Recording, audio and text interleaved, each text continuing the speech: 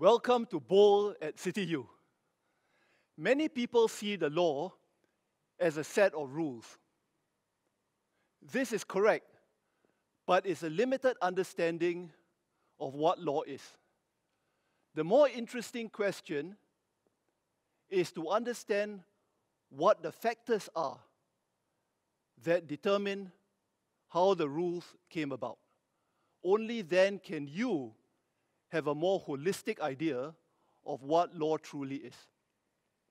This is a question that should be of interest to all lawyers and to engage citizens who think that certain aspects of the law are outdated and should be changed.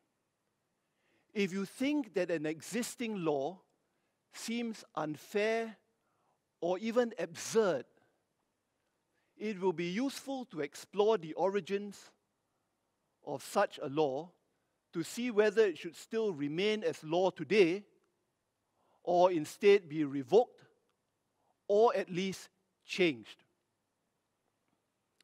Let me give you an example. For a very long time, it was the law in many countries that when a woman got married, she lost her personal identity, which became one with her husband's. As such, whatever property she had became her husband's upon marriage, and she could not enter into contracts in her own name. Her husband would have to do it for her. And partly for this reason, there was no offense of marital rape because husband and wife are considered one person. Obviously, in the 20th century, such ideas began to look inappropriate, particularly as more women started to work and were allowed to vote. In Singapore, the law was changed in the 1960s to state that women continue to retain their separate identity after marriage. And in 1987, as a young academic, I wrote an article arguing that the law should be changed to allow the offense of marital rape. You will be pleased to know that in 2002, Hong Kong made it clear in the crimes ordinance that rape can take place within marriage. Singapore did so, but only much later in January 2020. You can see from this example that what shape and form law takes is very much dependent on societal attitudes. And this is because law is a social construct. Think about it. If you are the only person on a desert island, law is completely irrelevant. You can do whatever you like without any consequences except to yourself. The moment there is more than one person other than you, things change. Let us assume a family. Parents and their three children are stranded on the island. Immediately, there will be some rules that apply to all of them. These rules will be set by the parents to regulate things such as consumption of water and other supplies, and how to go about doing things to ensure survival for as long as possible. These rules are not laws, but have the same effect because everyone is expected to comply, and if the children don't, they might be punished. And if the parents themselves don't follow their own rules, they might find it more challenging to get their children to do so, even with the prospect of punishment. You can well imagine the children saying to their parents, If you are not following the rules, why must I? So there are both positive benefits from following the rules, better prospects of survival, and disbenefits from not doing so. Let us take another example. From the late 18th century into the 19th century, there were waves of migration from southern China to parts of Southeast Asia because of the instability of the Qing dynasty. And the same would have happened from people coming into Hong Kong as well. Many of the immigrants settled in Singapore and Malaysia, which was under British rule.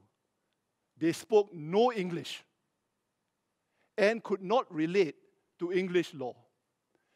Being in an unfamiliar land, they did the natural thing by gathering with people they were familiar with. Other Chinese, particularly those from the same village, town, or those that spoke the same dialect. These clan organizations had their own rules, and whenever there were disputes, the organization would resolve these disputes internally.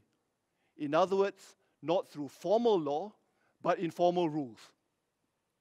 So you can see from this that the moment human beings have to live together, there is a need for some ground rules to regulate what people can or cannot do for their mutual self interest. And this is accompanied by a process through which disputes can be resolved. Such informal rules can work in small or cohesive groups that are dependent on long term relationships. For example, a Cantonese member of the Ghee Hin Kongsi, Yixing Kongsi in Singapore in the early 19th century would voluntarily comply with the rules because the organization provided him with protection and a safety blanket if he fell on hard times. Such informal rules would be more important to him than the formal rules of the British colonial government. Beyond such close knit communities, and certainly in large and impersonal communities and cities like Hong Kong, New York, Barcelona, London, Singapore, informal rules that rely on personal compliance do not work so well. Many people can live for years in an area and not even know their neighbors. So the scope for community policing of informal rules is weakened. As such, you need more formal rules to regulate society so that everyone clearly knows what their rights and obligations are and what happens when there is non compliance. Therefore, you have criminal law to deter acts that society considers to be very harmful. You have tort law to provide for compensation to others that you have harmed. And you have contract law to ensure that agreements entered into are treated seriously.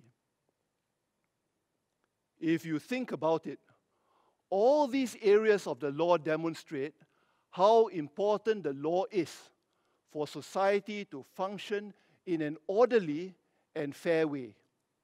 If people can beat up others or rob them without any consequences, I have no doubt that more such acts will take place. And when you find yourself going home at night, you might find that there's more criminal activity around you. If companies can do business without being concerned about safety. And if those who are harmed cannot claim compensation, societies will see more unsafe industrial practices. If you can enter into a contract and later decide not to honor it, how will companies do business and employ workers? So, if we don't have law as we understand it, we will have a different type of law, what I refer to as the law of the jungle, where the rich, the powerful, and the strong do what they want, take what they want, and there is little that the ordinary person like you or I can do about it. Law is therefore necessary for complex social organisms to function. It is a product, a construct of society that attempts to balance the rights and obligations of members of society to ensure that all people will be treated fairly and equally before the law. This is why the image of Lady Justice is a woman who is blindfolded. It signifies that the law is blind to the identity of everyone and all are equal in the eyes of the law. Because law is a social construct, as societies change, the law must also change. For instance, with the internet and social media, criminal law has been enlarged to include offenses such as doxing and sexual grooming. Laws relating to cybersecurity are also going to become more important. The continued rise and rise of big business and the market power that they are capable of exercising. Just think of Google, Facebook, and Alibaba. Has made competition law or antitrust law much more important. And therefore, many jurisdictions in Asia, such as Hong Kong, have passed such laws recently. Now, as an ordinary citizen and someone who will join the workforce in the future, you will encounter law in many different ways. It is useful to know that the content of law is very dependent on what citizens think is right or wrong. In other words, societies ultimately construct the law so that it serves the needs of society effectively while reflecting the social norms of its people. Discussion about the law is not only for lawyers like myself. Every citizen should feel able to participate.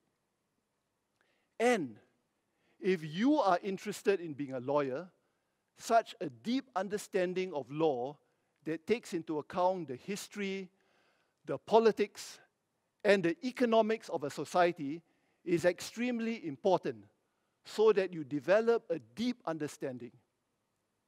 It is never enough to understand the rules only. It is more important to understand the underlying reasons behind the rule. In particular, why society has constructed that rule. In conclusion, I would like to say to all of you that being an engaged citizen means being concerned about the nature of the laws that govern us as a society and ensuring that your voice is heard. Thank you.